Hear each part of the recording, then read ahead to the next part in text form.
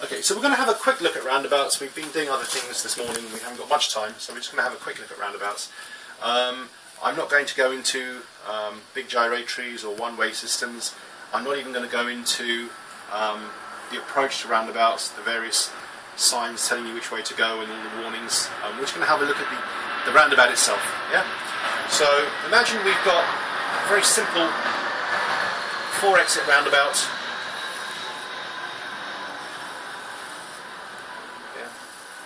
and there's one lane approaching the roundabout from each direction, yeah?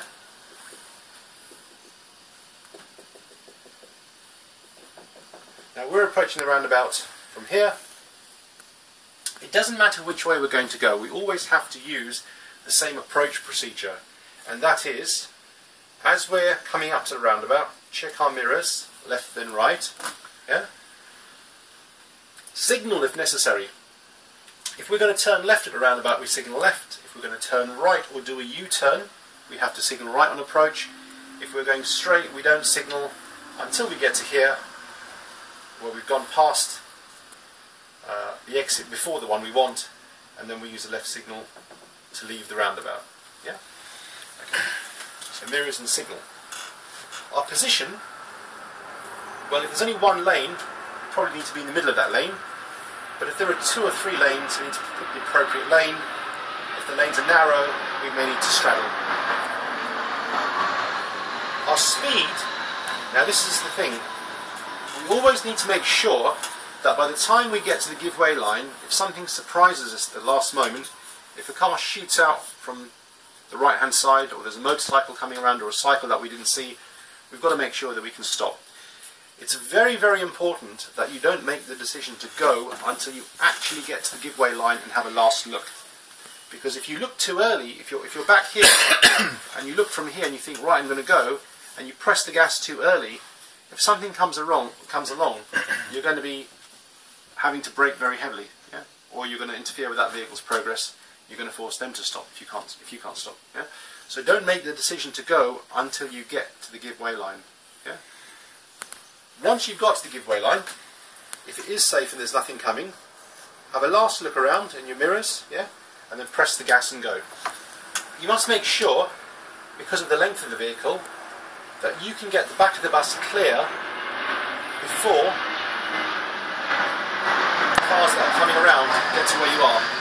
Because if you pull out and you make somebody else slow down or stop, that's a serious fault, yeah? It's not good, it's dangerous. Uh, it's a dangerous situation to be in to force somebody else to stop.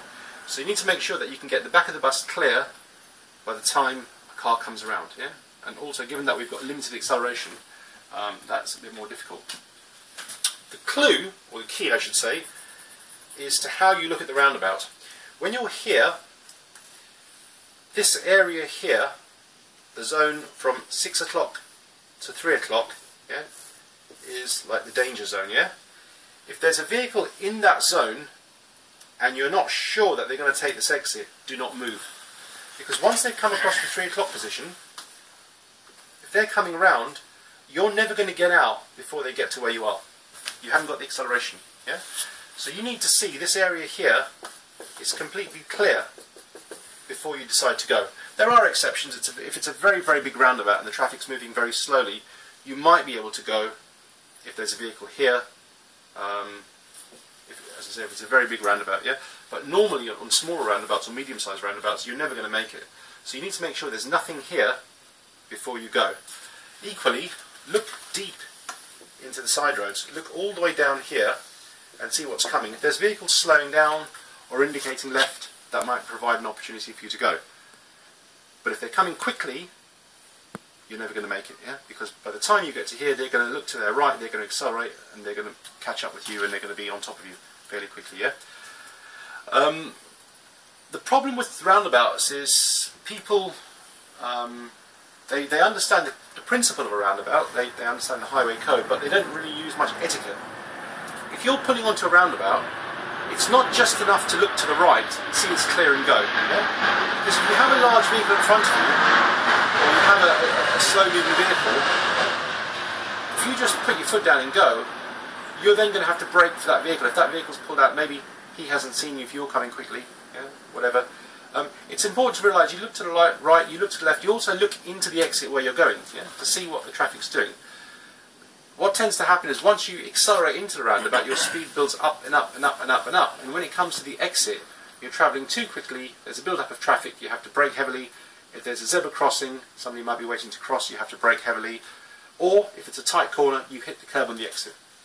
So once you go into the roundabout, give it some gas to get the vehicle in, but once you're on the roundabout itself, reduce your speed and look into the exit where you're going and if necessary slow down for the exit. Yeah? It's very important to realise that if you hit the curb, you probably hit the exit curb. It'll be the curb on the corner where you're exiting, yeah, the exit curb. Um, yeah. So remember, don't go if there's anything between the 3 o'clock and 6 o'clock position. Make sure you're looking deep into the other roads and make sure you're looking at the exit where you're going as well. If there's a road closure, there's a serious accident, you might be better off taking a different exit. That's why it's important to look where you're going. Um,